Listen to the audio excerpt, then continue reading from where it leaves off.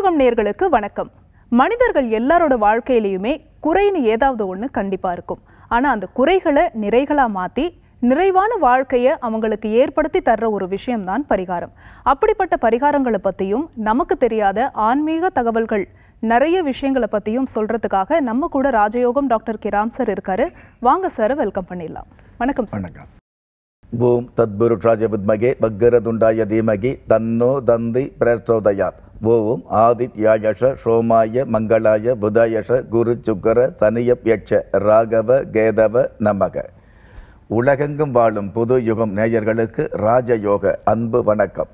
நிகழ்ச்சியை பார்த்துக்கிட்டு இருக்கிற உங்களுக்கு குலதெய்வ ஆசையும் நவகிரக அனுகிரகமும் முழுமையாக கிடைக்கணுங்கிற பிரார்த்தனையோடு உங்கள் ராஜயோகம் டாக்டர் கே. ராம். சார் வார வாரம் நம்ம பரிகார பலன்கள் நிகழ்ச்சியில நிறைய பரிகாரங்கள் சம்பந்தப்பட்ட எங்களுடைய சந்தேகங்களுக்கு தெளிவான விளக்கம் கொடுத்துட்டு வரீங்க சார்.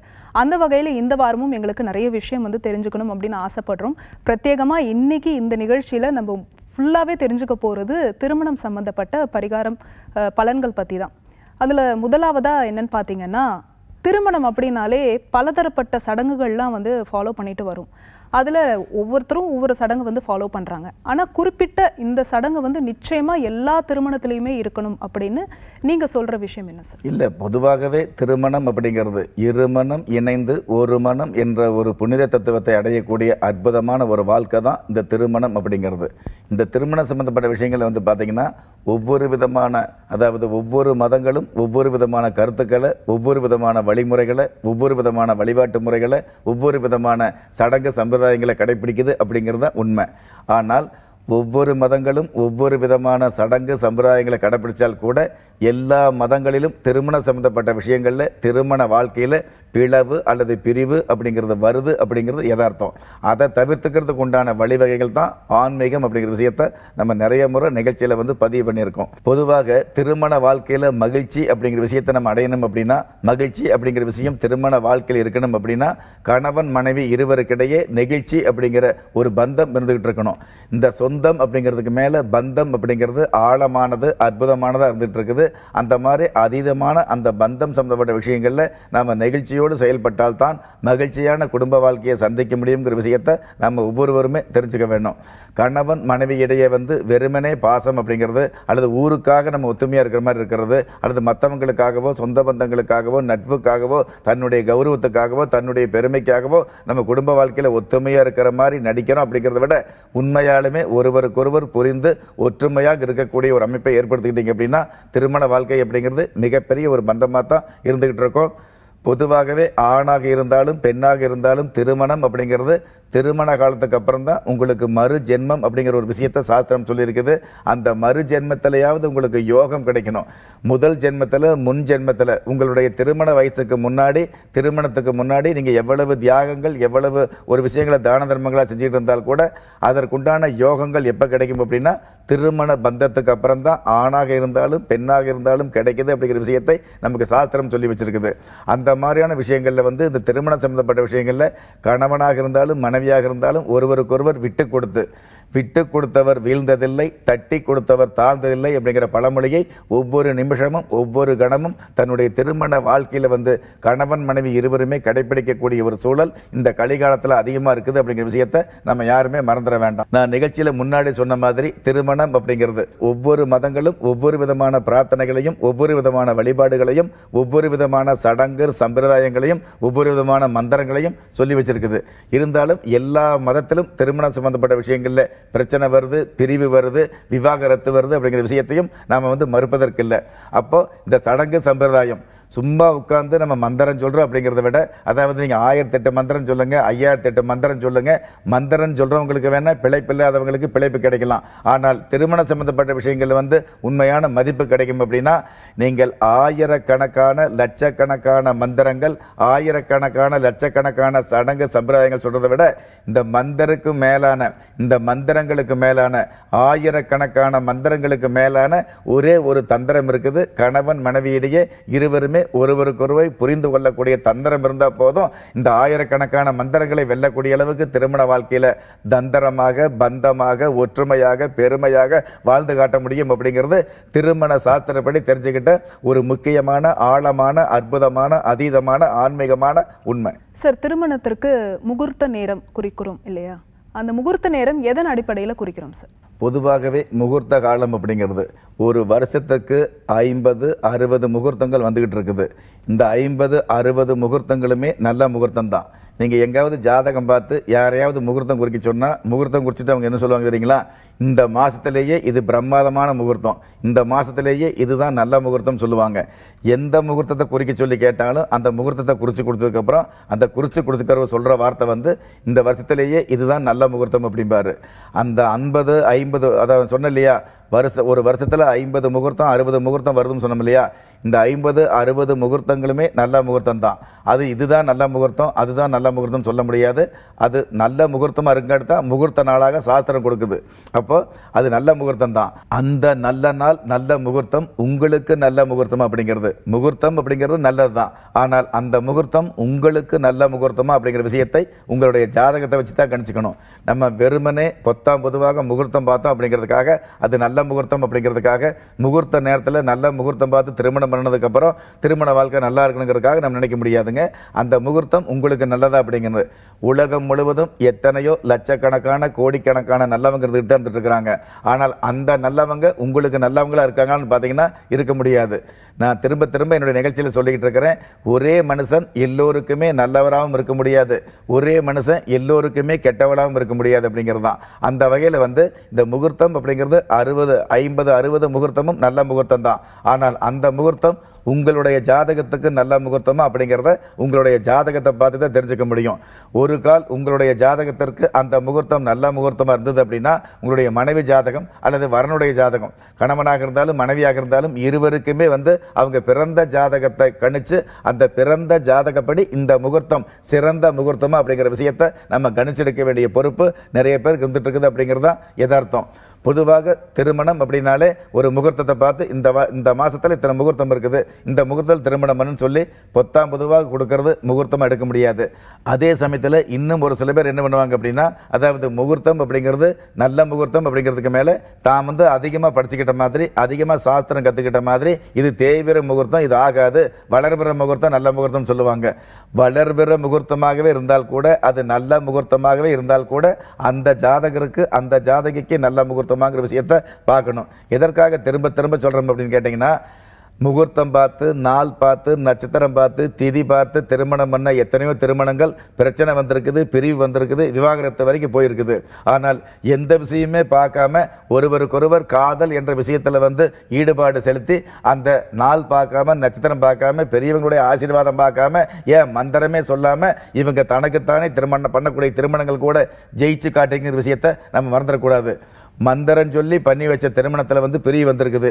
ஏன்? மந்திரம் சொன்ன அவருக்கே அவர் குடும்பத்தில் பிரிவு வந்திருக்குது அப்படிங்கிறது நகைச்சுவை இல்லை நான் பார்த்த உண்மை. அதனால் வந்து வெறுமனே மந்திரத்தை நம்பி பொழப்பு பண்ணுறோம் அப்படிங்கிறத விட உங்களுடைய பிழைப்பு நல்லா இருக்கணும் அப்படின்னா உங்களுடைய ஜாதகத்தை பாருங்கள் இதில் மந்திரமோ வேறு விஷயங்களோ எதுவுமே பலன் கொடுக்கக்கூடிய வல்லமையோடு இருக்க முடியாது. கண்டிப்பாக ஜாதகம் தான் அல்லது சாமி தான். திரும்ப திரும்ப சொல்கிறேங்க எந்த ஒரு மனுஷனாக இருந்தாலும் ஜாதகம் அல்லது சாமி தான். இதை தவிர்த்து வேறு விஷயங்களை நம்பி ஏமாந்து போக வேண்டாம் அப்படிங்கிறத கூட்டம் போட்டு ஏமாத்துகிற இந்த கூட்டத்தில் நீங்களும் வந்து பலிகட ஆக வேண்டாங்கிற விஷயத்தை தான் இந்த நிகழ்ச்சியில் உங்களுக்கு வந்து நிகழ்ச்சியோடு சொல்ல கடமைப்பட்டிருக்கிறேன். அந்த வகையில் முகூர்த்தம் அப்படிங்கிறது நல்ல முகூர்த்தம் அப்படிங்கிறத நானோ அல்லது நீங்களோ மற்றவங்களோ சொல்ல வேண்டியதில்லை. பஞ்சாங்கமும் சாஸ்திரமும் நமக்கு நிச்சயமாக கச்சிதமாக கணிச்சு கொடுத்துருக்குது. ஆனால் அந்த நல்ல முகூர்த்தம் உங்களுக்கு நல்ல முகூர்த்தமானு பார்க்கறதுக்காகத்தான் உங்களுடைய ஜாதகம். அதாவது உங்களுடைய ஜாதகத்தில் நீங்கள் பிறந்த தேதி பிறந்த ராசி பிறந்த லக்கணம் பிறந்த கரணம் பிறந்த யோகம் பிறந்த விஷயங்களெல்லாம் கணிச்சு பார்க்கும்பொழுது அந்த ஜாதகத்தை எடுத்ததுக்கப்புறம் அந்த முழு ஜாதகத்தில் ராசி அம்சம் நவாம்சம் திரேக்கணம் பாவகம் சஷ்டியாம்சம் திரிசாம்சம் இதற்கப்புறம் வந்து பார்த்தீங்க அப்படின்னா உங்களுடைய ஜாதகத்தில் லக்கணத்துக்கு இரண்டாம் இடம் தன குடும்ப வாக்குஸ்தானம் என்று சொல்லக்கூடிய இரண்டாம் இடத்தை பார்க்கணும் பூர்வ புண்ணிய புத்தரஸ்தானம் என்று சொல்லக்கூடிய ஐந்தாம் இடத்தை பார்க்கணும் அதே மாதிரி பாக்கியஸ்தானம் என்று சொல்லக்கூடிய ஒன்பதாம் இடத்தை பார்க்கணும் கலஸ்தரஸ்தானம் என்று சொல்லக்கூடிய ஏழாம் இடத்தை பார்க்கணும் பெண்களுக்கு முழுக்க முழுக்க அதாவது மாங்கல்ய ஸ்தானம் என்று சொல்லக்கூடிய எட்டாம் இடத்தை பார்க்கணும் இது எல்லாத்துக்கும் மேலே இரண்டு ஜாதகங்களுக்கும் ஜாதகத்துக்கும் இத்தனை எல்லாம் பொருந்தி வந்தால் கூட இரண்டு ஜாதகத்துடைய அயன ஜயன போக பாக்கிய விரயஸ்தானத்தை பார்க்கணும். அதாவது அயன ஜயன போக பாக்கியம். அந்த போக பாக்கியம் ஒன்று இருந்தால் போதும் குடும்பத்தில் நூற்றுக்கு தொண்ணூற்றி ஒம்பது பிரச்சனைகள் வந்து சால்வ் ஆகிறது அமைதியாகிறது அப்படிங்கிறது தான். அந்த அதிபதிக்கு அந்த ஒரு ஆளுமைக்கு அந்த ஒரு அதிகாரத்துக்கு உட்பட்ட ஒரு ஜாதகத்தில் அயன ஜயன போக பாக்கிய விரயஸ்தானத்தை பார்க்கும் பொழுது தான் அந்த தாம்பத்தியம் அந்த குடும்பம் வந்து காலம் காலமாக சிறந்திருந்துட்டு இருக்குமா? அல்லது இந்த திருமண சம்பந்த சம்பந்தப்பட்ட விஷயங்களுக்கு அடுத்து அறுபதாம் கல்யாணம் என்று சொல்லக்கூடிய அற்புதமான ஒரு ஆழத்துக்கு போகுமா அப்படிங்கிற விஷயத்தை எல்லாம் இந்த ஜாதகத்தை பார்க்கும் பொழுது நிச்சயமாக தெரிஞ்சுக்க முடியும் அப்படிங்கிறது தான் நிதர்சனமான உண்மை. அதனால் நம்ம திருமணத்துக்கு முகூர்த்தம் குறிக்குது அப்படிங்கிறத விட அந்த முகூர்த்தம் குறிக்கிறதுக்கு வந்து இந்த முகூர்த்தம் நல்ல முகூர்த்தம் இந்த முகூர்த்தம் நல்ல முகூர்த்தம்னு கிடையாது. இருவருடைய ஜாதகத்துக்கு எந்த முகூர்த்தம் நல்ல முகூர்த்தம்னு பார்க்கணும் ஒன்று அதே மாதிரி இருவருடைய ஜாதகப்படி அவங்க வந்து நல்ல முகூர்த்தத்தை தேர்ந்தெடுத்து திருமணம் பண்ணினாலும் அவங்க ஜாதகத்தில் திருமண வாழ்வு அப்படிங்கிற பந்தம் எந்த அளவுக்கு ஆழமாக இருந்துட்டு இருக்குது எந்த அளவுக்கு வந்து அது மறு திருமணத்துக்கு இருக்குது அப்படிங்கிற விஷயத்தை கவனிக்கும் பொழுது இந்த திருமண பந்தம் பிரிவு அல்லது பிளவு அல்லது பிரச்சனை அப்படிங்கிறது ஏற்பட்டுறது அப்படிங்கிறது தான் திருமண பந்தத்தில் ஏற்படக்கூடிய பிரச்சனைகளுக்கு எத்தனை கோயிலில் அர்ச்சனை பண்ணாலும் அந்த பிரச்சனை தீர்றதில்லைங்கிற விஷயத்தையும் இந்த நேரத்தில் ஆழமாகவும் ஆன்மீகமாகவும் அடிப்படையாகவும் அமைதியாகவும் சொல்ல கடமைப்பட்டிருக்கிறேன். அதனால் வந்து திருமணம் சம்மந்தப்பட்ட விஷயங்களில் காலங்காலமாக இருக்கக்கூடிய அந்த பிரச்சனைக்கு நல்லது ஒரு முடிவு கிடைக்கணும் நல்லது ஒரு தீர்வு கிடைக்கணுங்கிறக்காக தான் இந்த நிகழ்ச்சியில் சொல்கிறோம் பொத்தாம் பொதுவாக ஏழு பொருத்தம் பார்த்தோம் பத்து பொருத்தம் பார்த்தோம் நல்ல முகூர்த்தம் பார்த்தோம் அப்படிங்கிறத விட அந்த இருவருக்கும் உள்ள ஜாதக பொருத்தத்தை சம்மந்தப்பட்ட விஷயங்களில் கண்டிப்பாகவே பார்க்கணும். அதாவது எந்த எந்த ஒரு விஷயமாக இருந்தாலும் அதாவது ஒரு குடும்பத்தில் வந்து பிரச்சனை வருது பெரிய வருது அப்படிங்கிறத விட அந்த காலத்தில் திருமணம் பண்ணும் பொழுது திருமண வாழ்க்கையில் இந்த விஷயங்கள் எல்லாமே கவனிச்சாங்க. திருமணத்துக்கு முன்னாடியே இருவருடைய ஜாதகத்தில் வந்து பொருத்தம் பார்க்கும் பொழுது அந்த பொருத்தத்துக்கு தகுந்த மாதிரியான திருமண சம்பந்தப்பட்ட விஷயங்களுக்கு உண்டான பரிகாரங்களோ அல்லது குலதெய்வ சம்பந்தப்பட்ட விஷயங்களில் வந்து ஒரு சில வழிபாடுகளோ வெறுமனே மந்திரம் சொல்கிறேன் மந்திரம் சொல்கிறேன்னு சொல்கிறத விட குலதெய்வத்து கோயிலில் ஒரு சில உத்தரவு கேட்கறது குலதெய்வத்து கோயிலில் திருமணத்துக்கு முன்னாடியே அதாவது மணமகளுடைய கழுத்தில் மாங்கல்யம் ஏறுவதற்கு முன்னாடியே குலதெய்வத்து கோயிலில் வந்து அர்ச்சனை பண்ணுறது அல்லது அந்த கணவன் மனைவி இருவருக்குமே வந்து இன்னாருக்கு இன்னார் அப்படின்னு முடிவு பண்ணி அவங்க இருவருடைய நாமாவளியை குலதெய்வத்து கோயிலில் ஒரு மந்திரமாக ஓதுறது. நம்ம மொங்கா மொங்கான்னு மந்திரம் சொல்கிறத விட உங்களுடைய குலதெய்வத்து கோயிலில் குறிப்பிட்ட கணவன் மனைவியுடைய மந்திரத்தை வந்து ஒரு அர்ச்சனையாக வச்சு திருமணத்துக்கு முன்னாடி நீங்கள் வந்து க- அதாவது ஒரு வழிபாடு வச்சுக்கிட்டீங்க அப்படின்னா அந்த வாழ்க்கையில் பிரச்சனை வராது. பிரச்சனை வந்தாலும் பிரிவு வராதுங்கிற விஷயத்தை நாம் நிச்சயமாகவே கணிக்க முடியும் ஏற்றுக்க முடியும். சார் திருமணத்திற்கு முகூர்த்த நேரம் எப்படி குறிக்கணும் அப்படின்னு ரொம்பவே தெளிவாக சொன்னீங்க. அடுத்ததா அறுபதாம் கல்யாணம் பண்ணுறோம் இல்லையா சார்? அது வந்து திருக்கடையூர் அபிராமி கோவிலில் பண்ணால் ரொம்பவே சிறப்பு அப்படின்னு சொல்கிறாங்க அதில் இருக்கக்கூடிய சிறப்பு என்ன?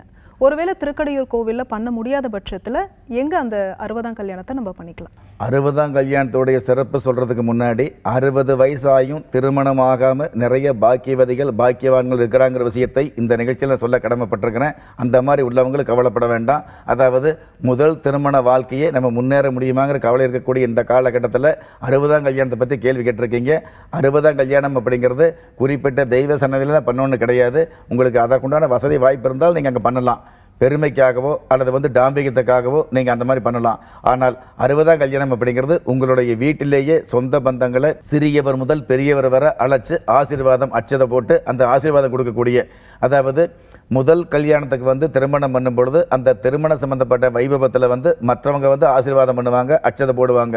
அறுபதாம் கல்யாணத்தில் நீங்கள் மற்றவங்களுக்கு அச்சதை போடக்கூடியது ஆசீர்வாதம் வழங்கக்கூடிய அமைப்பு நிச்சயமாக இருக்குது அப்படிங்கிறது நிதர்சனமான உண்மை. அந்த அறுபதாம் கல்யாணத்தை வந்து ஏதாவது ஒரு கோயில் குளத்தில் தான் பண்ணணும்னு கிடையாது. உங்களுடைய வீட்டிலேயே வச்சு உங்களுடைய சொந்த பந்தங்களை வயசில் மூத்தவங்களை சின்ன வயசில் அஞ்சு வயசில் உள்ள பிஞ்சு உள்ளங்கள்லேருந்து அறுபது எழுபது வயசு தொண்ணூறு வயசு வாழ்ந்த முதியோர்கள் வரைக்கும் அனைவரையுமே வரவழைச்சு அவங்க அவங்களுக்கு ஆசீர்வாதம் நீங்கள் கொடுத்து அந்த அறுபதாம் கல்யாணம் பண்ணுறது மிக மிக சிறப்பு அப்படிங்கிறது தான் அறுபதாம் கல்யாணத்தினுடைய பொறுப்பு. சார் நம்ம திருமணத்தை பற்றி பேசிகிட்டு இருக்கோம். வாழ்க்கை வந்து ஸ்மூத்தாக தான் போயிட்டு இருக்கும். திடீர்னு பார்த்தா கணவன் மனைவிக்கு இடையே நிறைய பிரச்சனை வரும். அந்த பிரச்சனை வந்து பிரிவு வரைக்கும் கொண்டு போய் விட்டுரும்.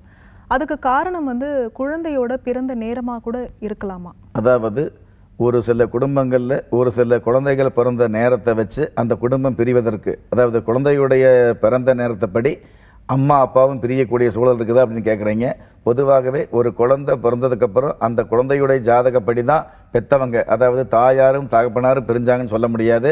அவங்க தாயார் அல்லது தகப்பனாருடைய ஜாதகத்திலேயே இந்த வயசில் இந்த மாதிரியான பிரி பிரிவு வருங்கிற விஷயத்தை நம்ம தெரிஞ்சுக்க முடியும்.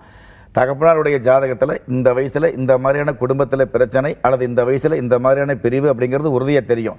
அதுக்கு தகுந்த மாதிரி தான் குழந்தை பிறகுது அப்படிங்கும்போது அந்த குழந்தைக்கும் அப்படி தான் தகப்பனாருடைய ஜாதகத்தில் எந்த மாதிரியான பலன் இருக்குதோ அதுக்கு தகுந்த மாதிரி குழந்தை பிறக்குது. அப்போ அந்த குழந்தைக்கு ஏழு வயசு பத்து வயசு ஆகும் பொழுது அந்த குடும்பம் பிரியுது. அப்போ அந்த குழந்தை ஜாதகத்தை பார்க்கும் பொழுது அந்த குழந்தைக்கு பத்து வயசு ஆகும் பொழுது அப்பா கூட சேர்ந்திருக்க முடியாது. அல்லது அம்மாவோட அரவணைப்பு இருக்காது அப்படிங்கிற விஷயத்தை அந்த குழந்தை ஜாதகத்தை பார்த்தாலே நம்ம தெரிஞ்சுக்க முடியும். அந்த வகையில் ஒரு குழந்தை பிறந்ததுக்கப்புறம் அந்த அந்த குடும்பம் பிரிஞ்சதுன்னு சொல்ல முடியாது.